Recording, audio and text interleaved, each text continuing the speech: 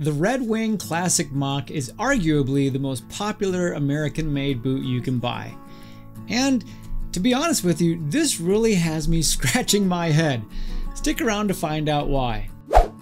Welcome to Stray Reviews, I'm Lee, and today I'm giving my full review of the Red Wing Heritage 8849. What that is, is that's their classic moc toe boot and prairie black leather. This one comes in at $299.99, a penny shy of $300. And it has a style that dates all the way back to 1952. The black prairie leather is a full grained, oiled, and wax leather.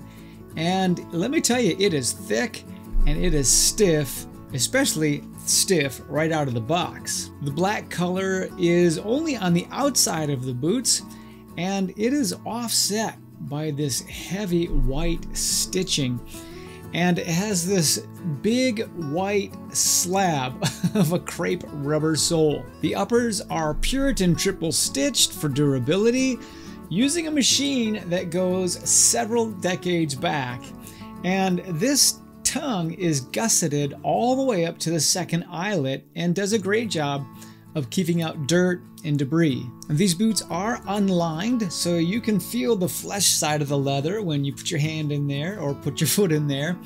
And it comes with a thick um, veg tanned insole, and that lays over a cork filling. And these are 360 degree Goodyear welted. Now the sole may look kind of like a Vibram Christy, but it is not. It is Red Wing's very own traction tread sole. And this was designed for outdoor workers and sportsmen to be able to walk across like rough surfaces without catching their heel on something. The classic mocks run true to size, and that was definitely the case for me.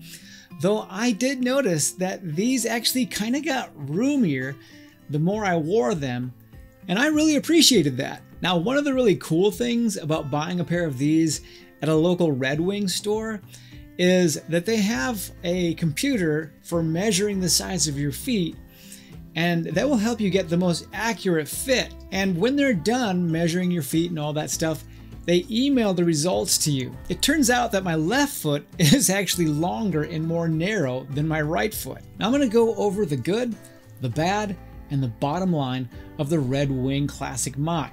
But first, I just want to take a second to thank me for today's video. You might not know this about me, but I actually write fantasy novels.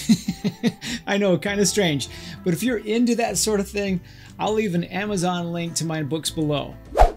Alright, let's start with the good of the classic Moc. Off the bat, I have to say that I really like the looks of these chunky heritage work boots. I might not be able to dress them up very much, but they sure look amazing with a pair of jeans. Now, I know that some people don't like the look of this wedge sole, but I actually like it a lot. It's laid back and it's casual, but it also pops. And the construction of these boots is pretty spot on, which is pretty impressive actually given that this leather is so thick and so stiff. And speaking of leather, Yes, they do smell great.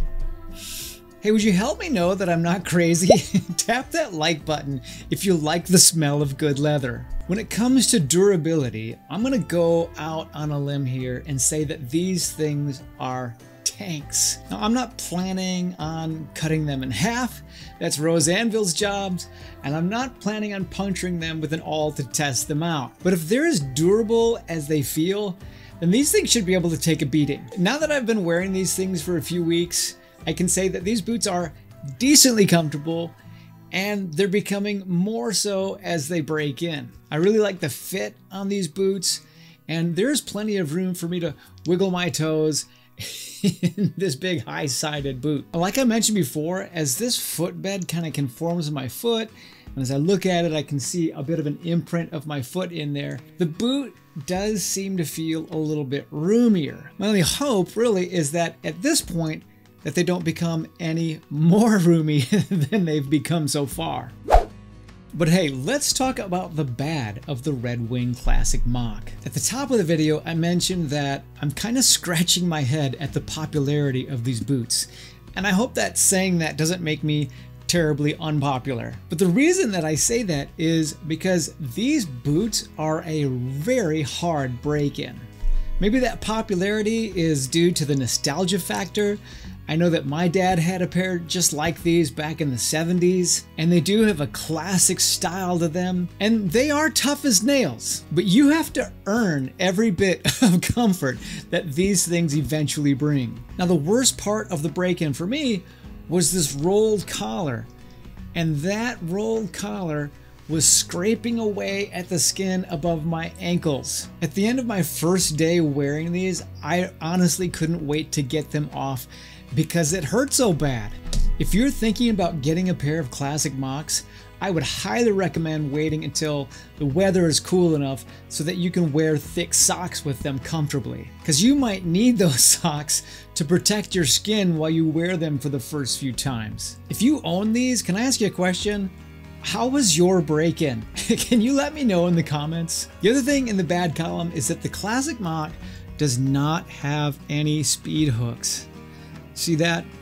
And I know that's a small complaint, but I do prefer the speed hooks over having to unlace the top couple of holes just to get my boots on or off. Alright, I'm going to give you my bottom line opinion. But if you're getting some value out of this, would you go ahead and tap that subscribe button? And that way you'll catch my upcoming reviews. Okay, the bottom line is that the Red Wing Classic Moc Toe boot is a standout, cool looking, casual, slash work boot that is super tough and rugged. You may love these boots, but that love is not going to come easy because the break in on these is a bear. If you want to see more Moc Toe boot reviews, here's my Moc Toe playlist. I want to thank you so much for watching, and I'll see you over the next video.